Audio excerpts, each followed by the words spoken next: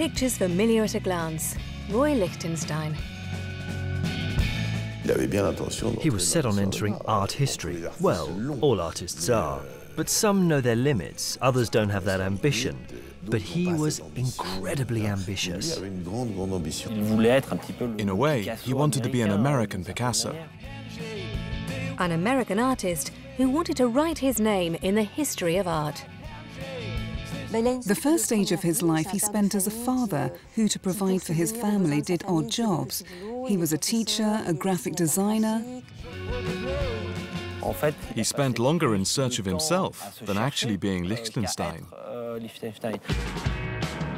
Famous the world over for his works of parody portraying American culture, he was a reflection of his era, the inventor of a new artistic movement. In the 60s, he was a bit like a UFO, someone who pushed the boundaries. The head honcho of pop art was the son of a simple, ordinary family, the opposite of his alter ego, the superstar Andy Warhol. While Andy Warhol's wigs and outfits wowed the world, Lichtenstein didn't wear anything special. He wasn't seen. We didn't even really know his face. In order to understand the ambition and production secrets of one of the most inventive artists of his generation, we must look past the artist's discretion and the apparent frivolity of his work. I think we became kindred spirits in many ways. We knew that if you wanted to do something well, you had to do it over and over and over again. And repetition was something that was in our blood. So when we were working, we would kid each other about you know, how many times do we have to do this to get it right? But uh, 10 is better than one, you know, that sort of thing. It was his closest collaborators who knew the true Roy Lichtenstein. Those who rubbed shoulders with him every day in New York. Behind an apparently simple painting, there was a meticulous painter, a workaholic who never left his studio. Roy walked in the studio in Southampton that morning, and after saying hello, how are you, he said, today would be a good day to photograph. And um, I thought, huh, he's never said that before. They're, they're wonderful moments that I'm glad that I was there for. His studio was in the Hamptons, a few kilometres from New York. A bubble of isolation where the artist took refuge to paint relentlessly his wife keeps the studio as it was. Exceptionally, she's opened the doors to this private space where nothing has been moved in 16 years. Easel that he invented is, again, this rotating easel. Um, and again, it's adjustable. Um, Roy, when he worked, especially when he did a very strong image, he liked to work on it uh, sideways and upside down.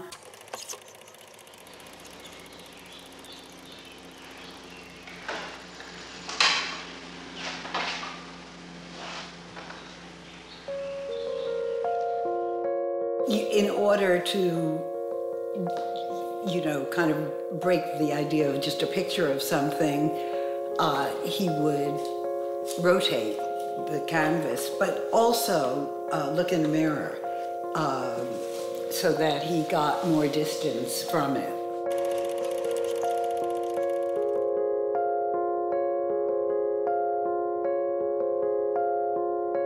I'm the only artist in the world, I think, who has no idea what he'd do making a movie.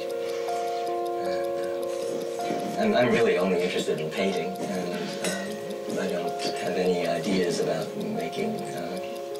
working in any other medium.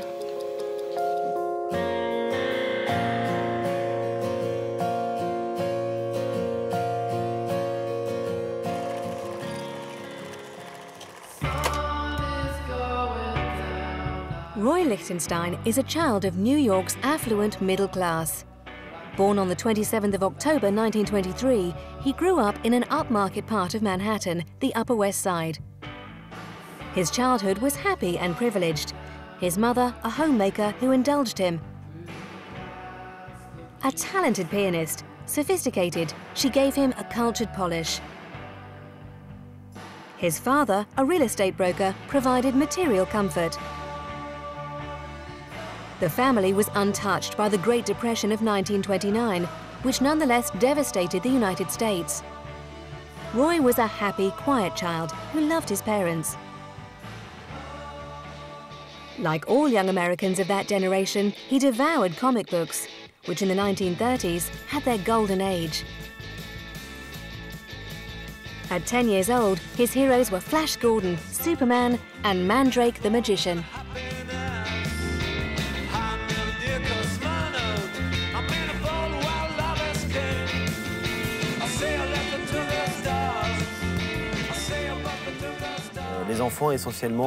Children mainly read. They didn't go to the cinema. They read comics. So, as he could afford them, he was certainly immersed in comics. He also visited museums with his mother. And we know from what he told us that he had his first big aesthetic shock in front of a Picasso piece. Young Roy wanted to be a painter. Art was not taught at his school, so his mother enrolled him in watercolour classes on Saturday afternoons. At the age of 13, he preferred painting to playing baseball with his friends. His new hero came from the other side of the Atlantic. He lived in France, like all the great painters, as is the fashion in the interwar years. This new mentor was Pablo Picasso.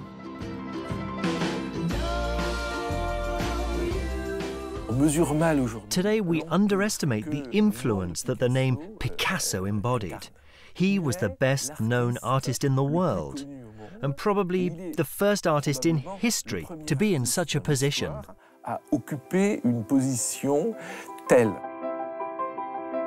Roy was a teenager when Picasso was on the front cover of Time in 1939, the year in which the New York Museum of Modern Art showed Les Demoiselles d'Avignon. Roy joined the crowds to admire this masterpiece, which America had just acquired for a fortune. He dreamt of becoming an American Picasso.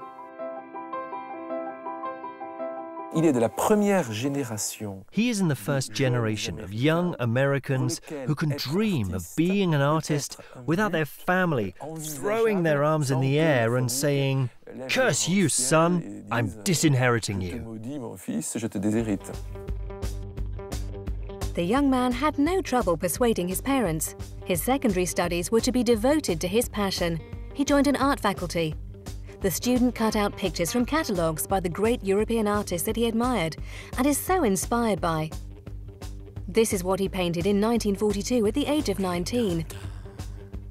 A Degas-style pose, clear-cut ochre colours like Cézanne.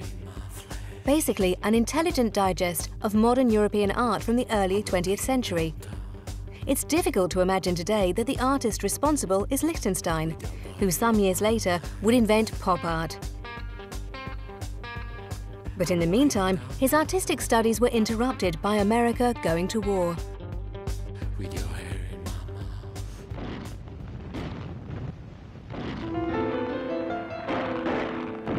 Called up to the US Army, he first drew illustrations for the Army magazine Stars and Stripes.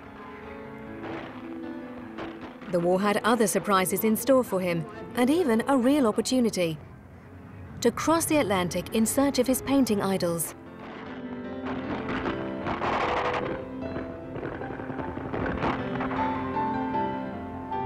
In 1944, he found himself in a liberated Paris and took the opportunity to visit museums such as the Louvre.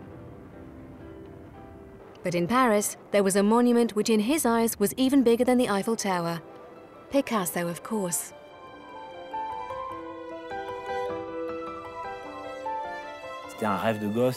It was his childhood dream to meet him. And there's that story where he goes up to Picasso's door, terrified, and he chickens out. He doesn't dare to knock on the door.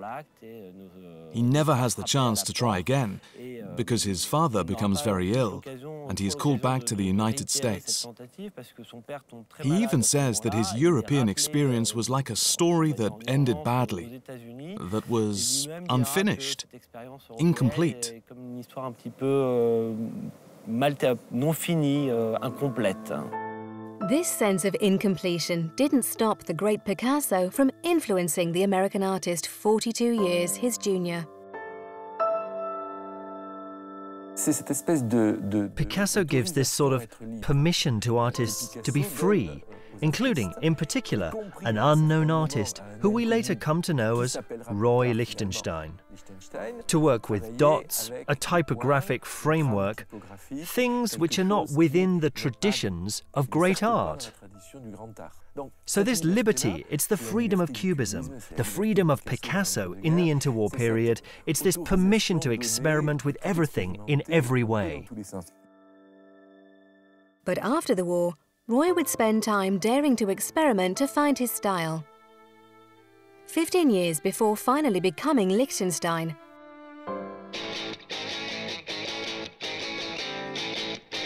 Returning to the United States because of his father's illness and then death. He obtained his degree in 1946. At the age of 23, Roy wanted to make a living from his painting.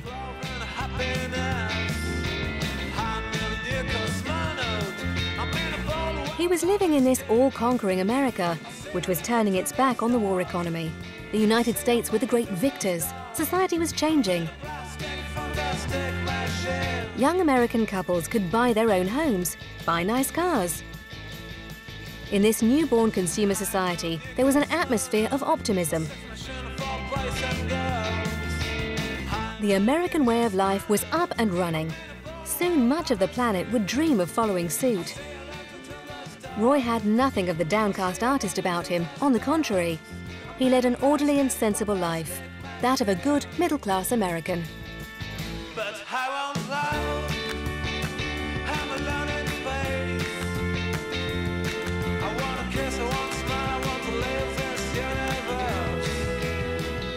In the first stage of his life, he was a painter. He was also already doing engravings and sculptures. He was married with two children, so he was a father who, to provide for his family, did odd jobs. He was a teacher, a graphic designer.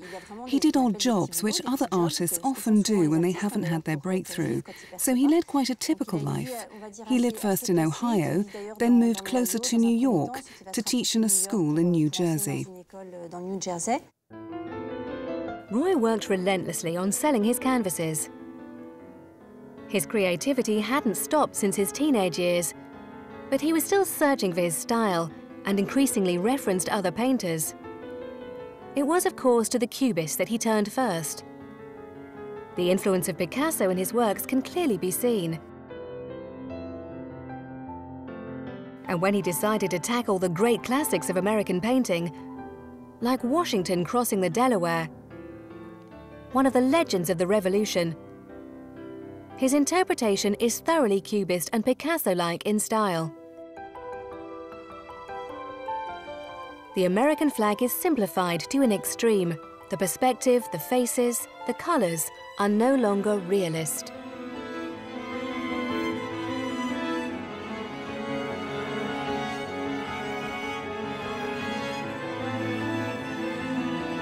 At this point, his subject is American folklore, great American scenes, because it's familiar and accessible. It's well known, it's consensual. Not consensual as such, he doesn't have any enemies, but consensual in the sense that we recognize what it is. His style is a little cubist, a bit expressionist, abstract. He's searching for his style, his form. At the age of 29, Roy hadn't yet found his own style. But a closer look reveals that he had already found a mood. The president is a big character, figuratively speaking. His cocked hat floats above his head, and the sword seems to be made of wood, like that of a child.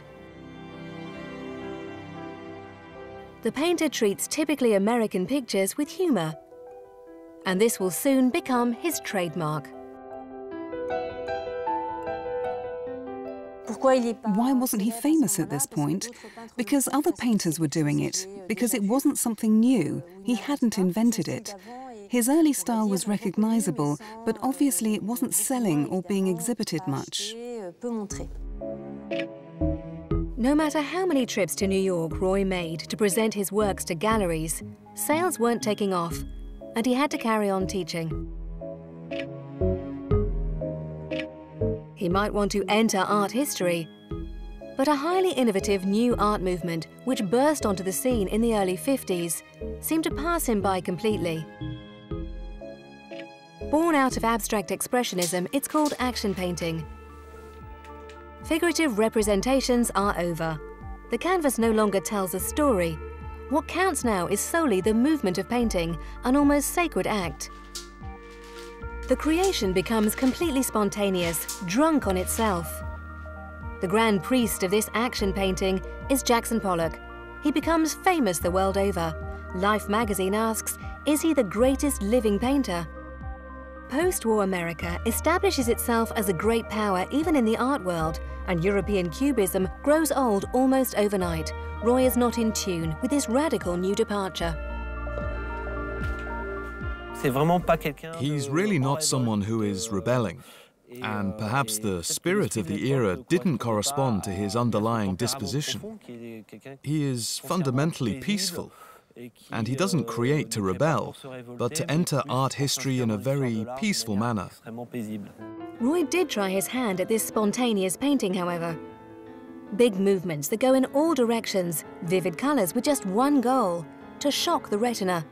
But that didn't convince many people. Some years later, when he was finally enormously successful, he would poke fun in his canvases, which were full of irony, at artistic techniques and at the abstract expressionists.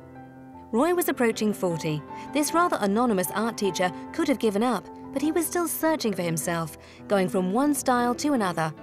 From early 20th century modernism by the European painters he has adored since childhood, to Picasso's Cubism, and from the reinterpretation of American cultural symbols to his later, far more abstract works. However, by the start of the 60s, Roy was on the verge of revolutionizing modern art. He would find his inspiration in a universe which seems devoid of all artistic pretension, in his six-year-old son's comic books.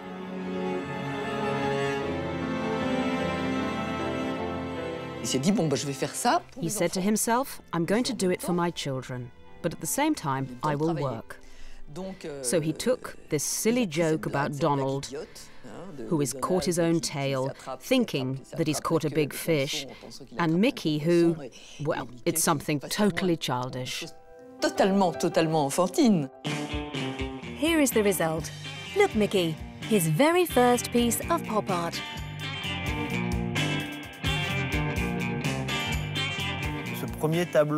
This first cartoon piece, it's the first one showing a scene from a comic book. Euh, the story goes that he painted it because his son set him a challenge. Dad, I bet you can't paint as well as this artist. And actually, his father got hold of the comic euh, and reproduced this famous piece entitled, Look, Mickey, I've hooked a big one. He loved it. He loved producing a piece that had absolutely no resemblance to abstract expressionism, with a very low art subject matter, very ordinary, very banal.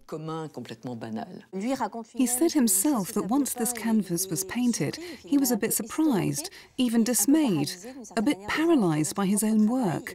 He hung it on the wall, he waited a bit before painting something else, and then realized that he couldn't paint anything else. This piece suddenly took all the space, and his earlier works no longer had any raison d'etre. He went on to destroy them, and he continued along this route, following this first step step on the road. He carried on with cartoon drawings, but also he continued to represent existing objects, existing images, public images, printed images. With this piece, Roy has finally found his way. An indication that he is aware of it. At the same time, he produces another piece, this time a diptych showing a pedal bin. Not an insignificant choice.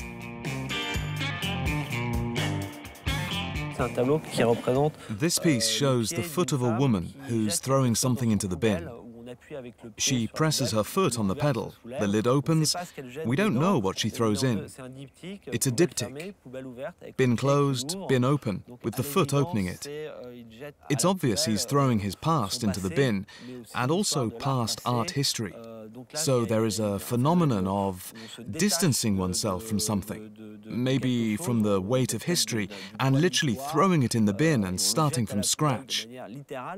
And starting a new life. There's a sort of rebirth. He breaks away. He breaks away from himself, his past, his era, art history. Avec lui-même, avec son passé, avec son époque, avec l'histoire de l'art. At 38 years old, Roy finally becomes Lichtenstein. An artist is born. His style is inspired by a simplistic drawing style that he takes from ever-present images around him, those in comics, but also in adverts, an inexhaustible source of pictures, the language of an era.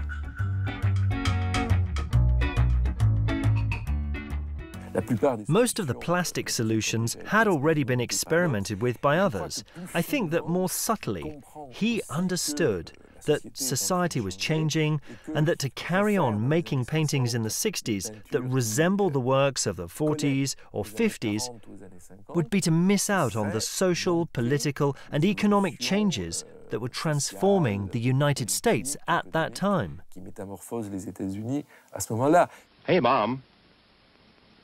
Yes, you. Why fuss and fret about dinner? Why not have it right here?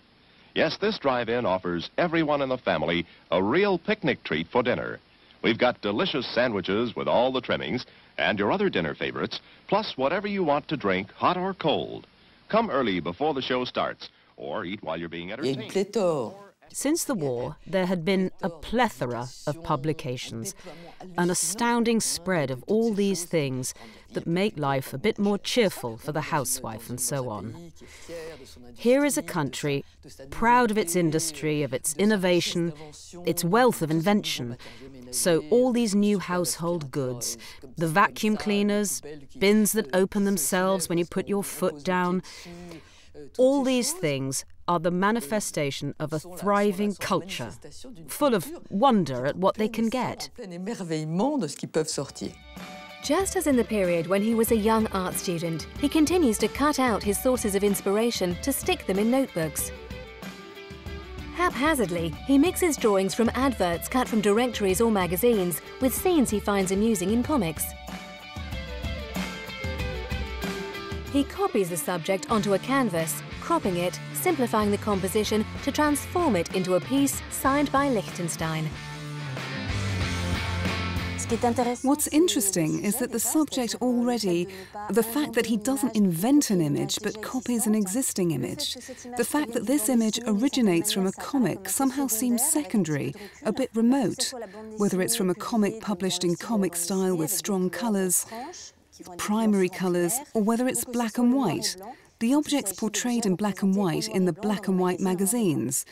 The idea is to represent the object in the style in which it appears, and in a way, it's this movement towards today's world, the contemporary world, which will turn him from a classical painter to what we now call pop art.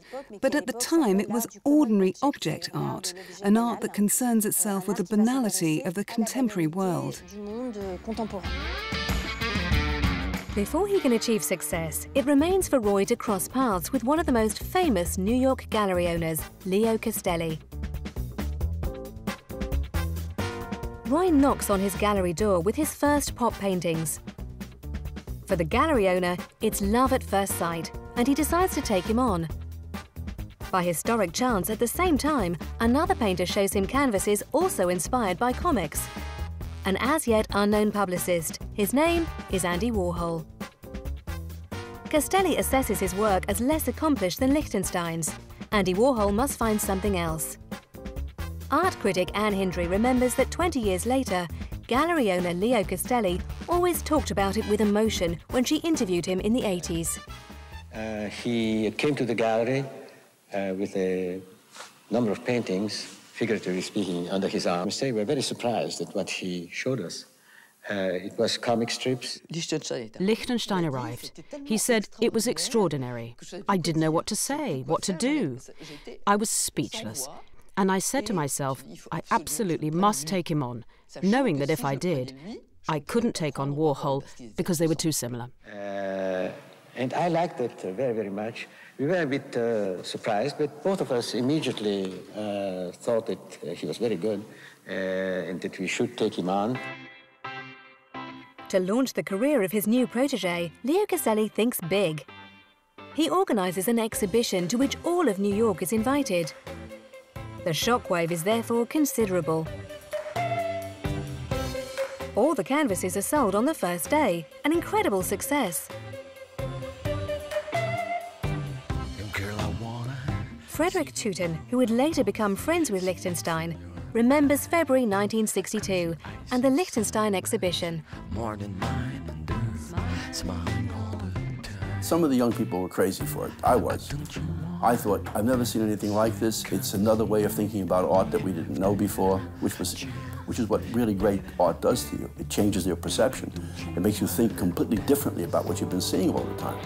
The first exhibit had been an absolutely phenomenal success and had an enormous impact because part of the success was also the negative reactions. So there was also a terrible outcry. The abstract expressionists, for example, had no interest in it. The great master, the two great masters of Expressionism, Rosenberg and Greenberg, said, Greenberg said it would be forgotten in a year's time.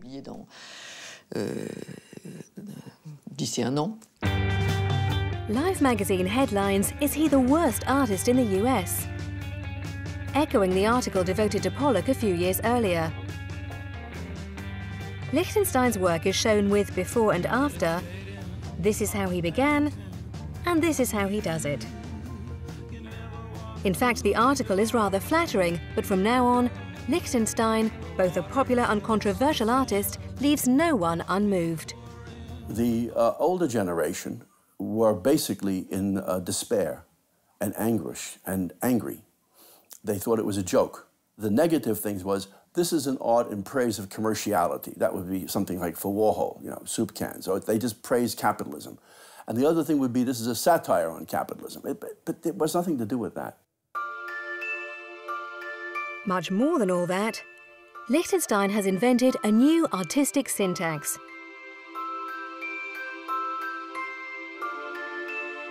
Thick black lines to outline the shape and the use of the three primary colours, blue, red and yellow, but most importantly, the small dots. Roy Lichtenstein was inspired by industrial printing characters used in the cheap newspapers of the time.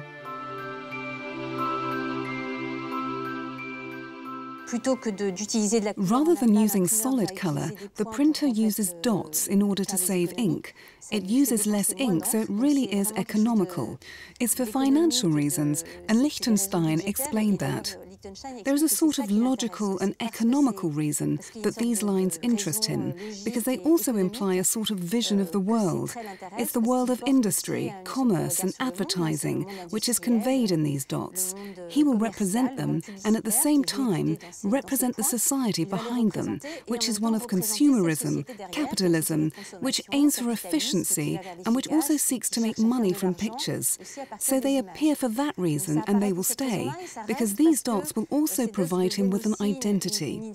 It becomes his style. It appropriates them along with the black lines, the three primary colours, as a part of his work. And one way or another, he will keep them for his whole life. With this graphical language, he can get started on new subjects. After the tearful comic book Women, a period which lasts only three years, Roy Lichtenstein will finally tackle his main interest, art history. He starts by revisiting his favourite classics, like Matisse and his goldfish. Or the painter Fernand Léger. Mondrian, to whom he gives the Lichtenstein treatment with the playful motif of his little dots.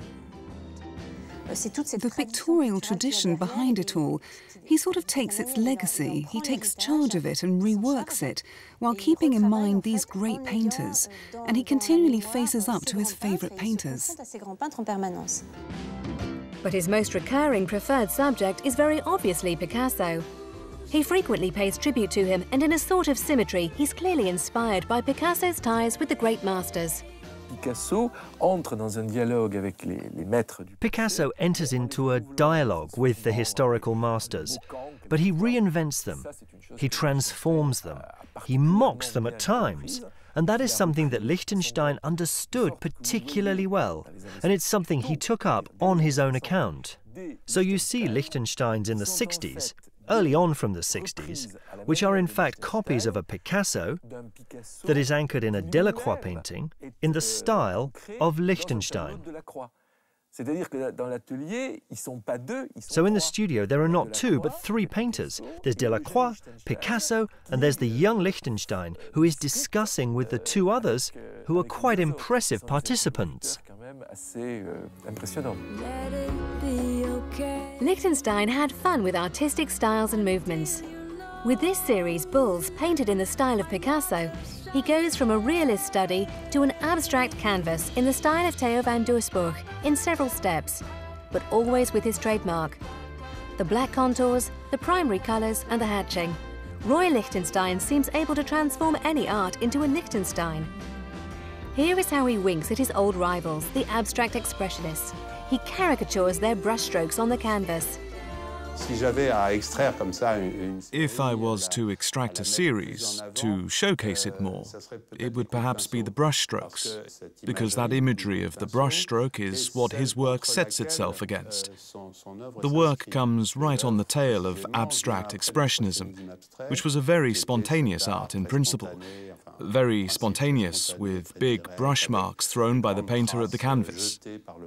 And Lichtenstein, who is completely removed from that, who works slowly and precisely with his small dots, he paints brushstrokes.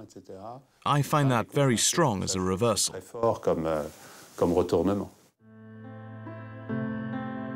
At the retrospective exhibit devoted to Roy Lichtenstein at the Pompidou Centre, there is the pleasure of seeing the icons of a painter who until now has had little exposure in France.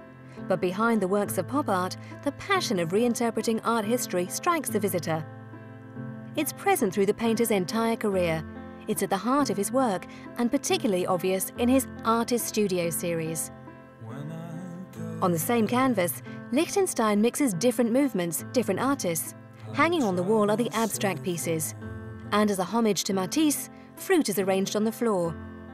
He even includes his preceding paintings, as if he's quoting himself. Thus, Look Mickey enters art history and joins his great masters. In this retrospective, the real discovery is the continual creativity of this artist, even beyond painting, when he becomes a sculptor. He brings his patterns to life for a sort of two-dimensional sculpture. This allows him particularly to represent the invisible, like with this series of mirrors and their reflections. Or with a cup of tea, he sculpts the escaping heat, invisible to the naked eye. It's his obsession with form in particular that struck the exhibit commissioner, who worked for several years to complete this retrospective. J'ai enfin compris I finally understood why everyone recognized these images, why everyone knows his name, why today he is such a famous and favorite artist, because he took hours to place his lines. It is obvious how he moved little bits of paper, moved the colors, going from red, then preferring white, choosing words and faces as well. It's an enormous formal job. And he says of himself, what I do, it's form.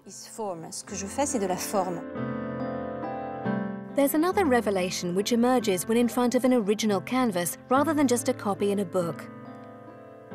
The revelation comes when getting close to the paintings, scrutinizing the details. No apparent traces of a brush, no thickness to the paint. The work of an artist has never seemed so mechanical. What is this painter's trade secret, where so much energy is spent in getting rid of all traces of his involvement? Lichtenstein, a tireless creator, signed more than 4,500 canvases and sculptures, a signature that's known the world over, while he remained incredibly secretive, hidden behind his work.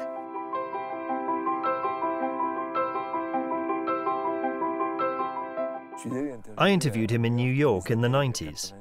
Obviously, I knew roughly what he looked like, but I was nevertheless surprised by the physical appearance of the man who opened the door to me. Obviously, if I'd gone to Warhol's, well, he was dead by then.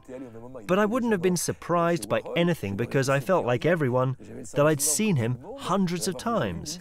Not Lichtenstein. He didn't play. He wasn't the type. It wasn't how he behaved. He's the artist that hides behind his work and doesn't become a sort of promotional tool for his work. For him, it was enough to hang pictures, to install sculptures, being sure that they are enough on their own and they will do the work on his behalf. One of the few film directors to have been able to film in action was a Frenchman. André S. Labarthe, director of the cult series Filmmakers of Our Time, made a film about him, which was made in his studio in the 70s and again in the late 80s. Le premier petit atelier où j'ai vu Lichtenstein the first little studio where I saw Lichtenstein, on Long Island. He had his house, his studio at the end of the garden. It felt very much like a family environment. I wondered why he had such a big studio. And gradually I understood. He has ten easels with paintings in progress, and that fascinated me. Et ça, ça, ça m'a fasciné, ça. L'atelier. The studio. A sort of trapper's shack, still under construction. On Friday, the 29th of September 1972, Lichtenstein was working there on a series of still life paintings. He was not yet 49 years old. The artist, we imagine him in overalls, paint stains everywhere. Not him. He paints very tidily. At that moment, I said to myself, he doesn't like painting in the sense where painting is something messy. He turns it around, crosses that, and he creates a completely clean painting.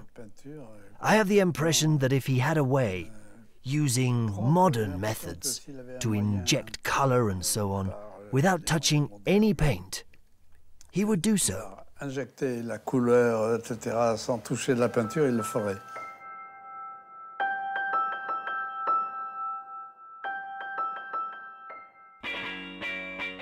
to understand this clean gentleman painter. This artist who was so productive and so immaculate. We clearly have to go beyond the framework of his paintings and follow in his footsteps across the Atlantic to New York. Who was the mysterious man behind these extremely famous paintings? This painter who worked obsessively on removing all apparent traces of his presence. How does one produce a Lichtenstein?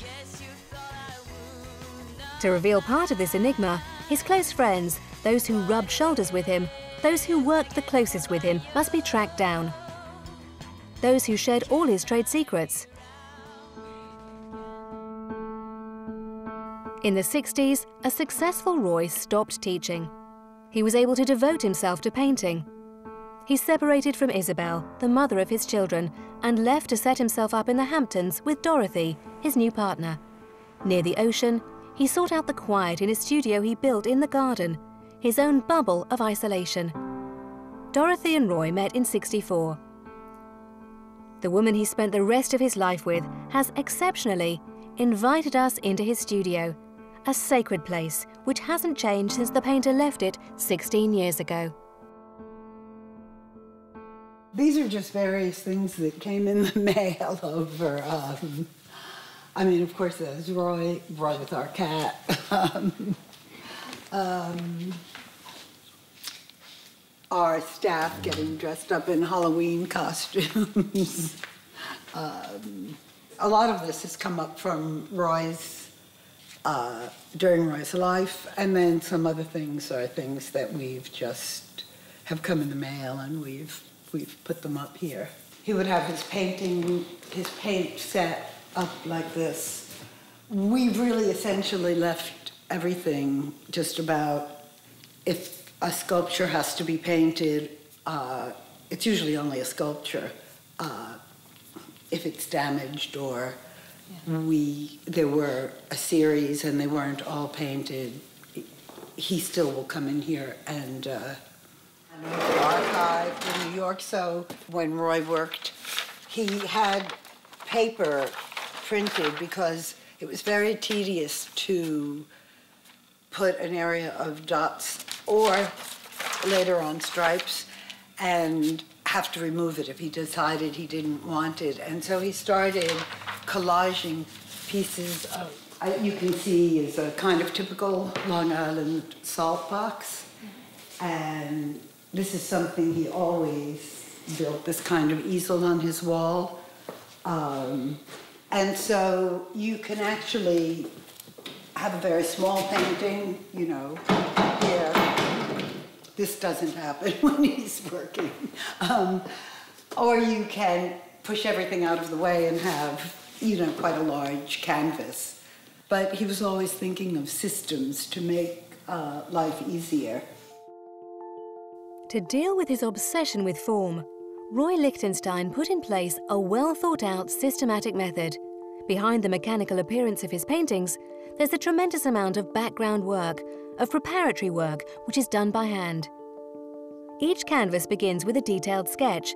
An example is one of his artist studio paintings. His preparatory drawing is a sort of source picture for the painting. Roy Lichtenstein composes it, draws, makes collages, especially when defining the areas of solid colours, the dots, the lines. The picture is then projected onto a large canvas.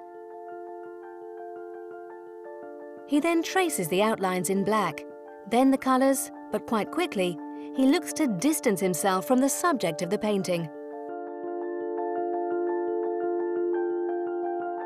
Roy, when he worked, especially when he did a very strong image, he liked to work on it uh, sideways and upside down so that, as he said, uh, he wasn't just painting a picture of something. I mean, he was trying to make it work as a formal uh, work. And so, in order to, you know, kind of break the idea of just a picture of something, uh, he would rotate the canvas, but also uh, look in the mirror uh, so that he got more distance from it. In this way, he can lose the pattern, forget it. For example, here he no longer feels like he is painting a woman's face. It's just a shape. His work therefore becomes a sort of abstraction with no reference to the original image.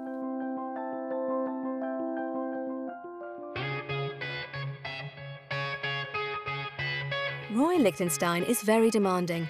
Before starting to paint, he spends a vast amount of time preparing his canvas. Without a doubt, this is where his trade secret lies. In any case, this is what his old collaborators like Laurie think. She worked alongside him every day at the start of the 90s. She has unforgettable memories from this collaboration. He would work with an opaque projector where he would put the tracing paper that had the drawing on it and um, he would project it against the freshly prepared canvas, the blank white canvas. And um, he would start to trace the proportions and um, the details of the painting. But then he would go back in freehand and reshape and redefine um, the details of the painting. And then the, these colored papers would be cut and Roy would work as if the a canvas was a collage, and he would tape um, these different cutouts, shapes, and different colors to how the painting would look. And bit by bit, as he would work on the painting, different areas would be pulled away after he made the decisive choice of what color or what pattern um, he would work with. Roy spent a lot of effort making the painting look like it was machine made. Most of the paintings we know, um, his hand was defied and it looked really industrial. To make his handcrafted work appear as industrial as possible, Roy Lichtenstein continually tried out new techniques. He worked tirelessly from morning till night in his studio, seven days a week. This in-depth research, buried, which never appeared on the canvas, put off even his closest collaborators, like Kenneth Tyler, one of the most loyal, who worked alongside him for more than 30 years.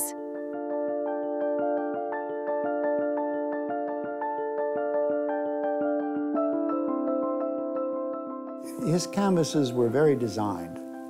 They were not they were not like abstract expressionism. You know, he didn't take a chance and just throw something down and think it was going to work, or it did work, then he'd save it. If it didn't work, he'd paint over it.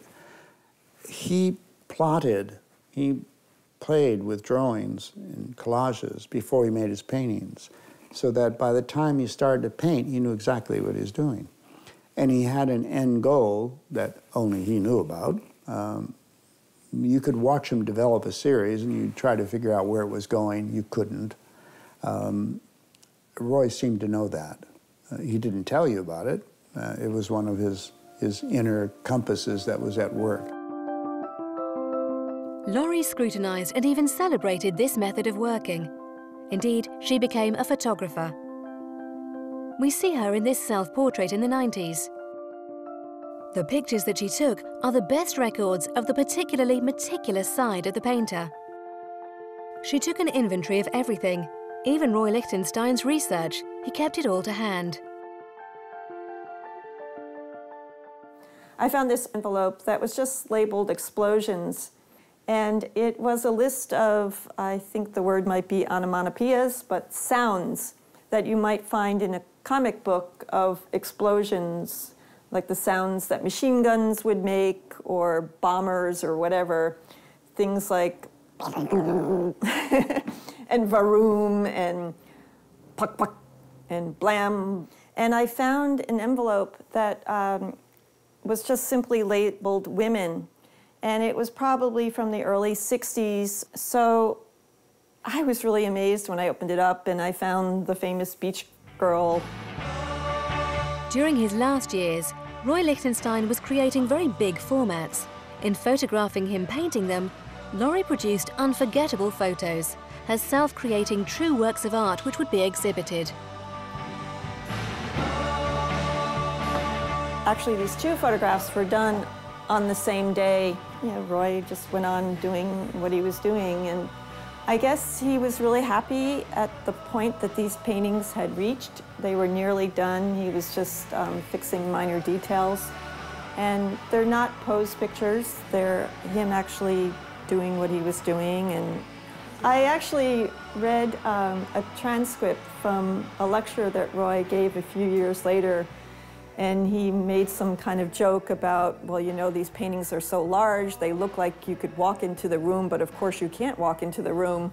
And then I thought, well, he kind of did, didn't he? um, euh, when I saw him again some years later, euh, I was expecting to see someone who had changed. And I even thought, that's what will be the backbone of the film. I mean, we'll have him young, and then we'll have him after he's completely changed. There will be an effect.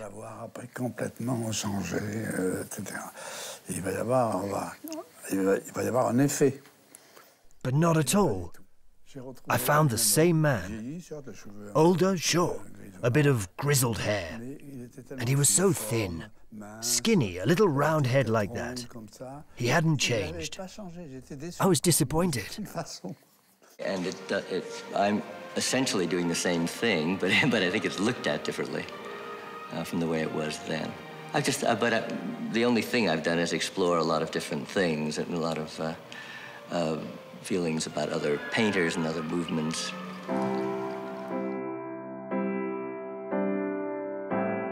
The man who had always respected his own constraining syntax waited until the end of his career to free himself from it, to reinvent himself. With his later works, large bright canvases showing a fascination for sketching Chinese art, he broke through his own conventions. Finished with solid colour, the black outlines were gone, and most noticeably, the framework of dots became more complex. A good 10 or so different sizes of dots coexisted.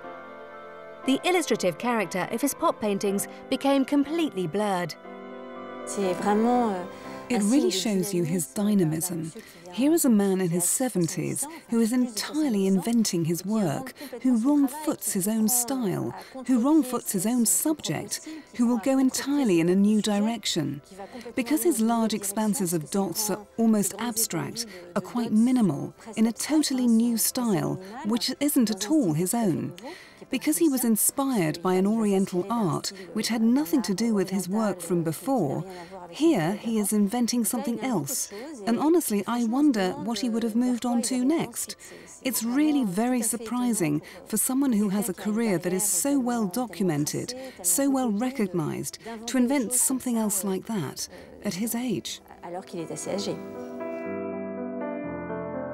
Abstraction finally took over in his last paintings. Roy Lichtenstein died in 1997 at the age of 74.